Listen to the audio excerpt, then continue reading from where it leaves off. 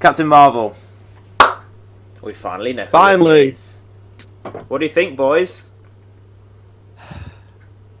Look, it's fine. It's fine. Brie Larson will do a good job. It's not Emily Blunt. It's not. It's not Emily Blunt. It's not it's to Yvonne be able to- Strahovski.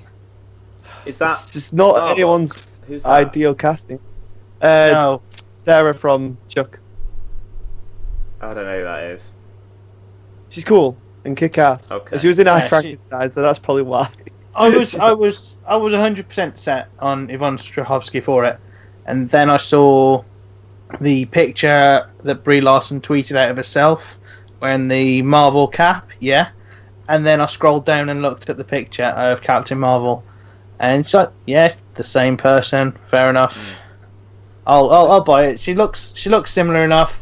She's a good actress. She's very good. She see, she can do both sides. In fact, she I've not seen her do action, but I can see it. She's played quite dramatic roles. She's played Um, comedy was roles. amazing.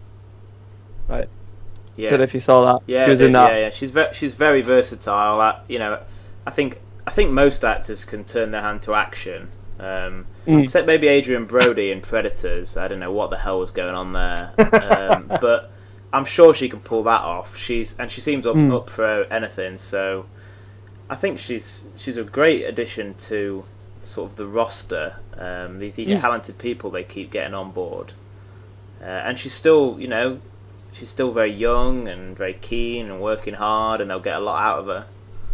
Um, Which I think probably is what held back like Emily Blunt from taking the role. Like yeah, it's I, like the thing is I have no problem with Brie Larson. Like I am sure she will do an excellent job. Like I just after Edge of Tomorrow and then after everyone started making fan petitions and Emily Blunt being like, Yeah, I'd be up for it. You know what I mean? Like I was so set on this older ish Carol Danvers, Emily Blunt being a badass.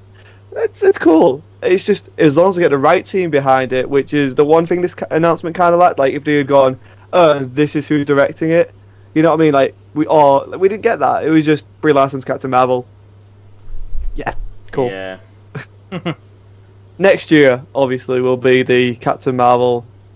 This will be awesome, or this is going to be like, oh, okay. We should worry, but I don't think we need to worry about Marvel at this point.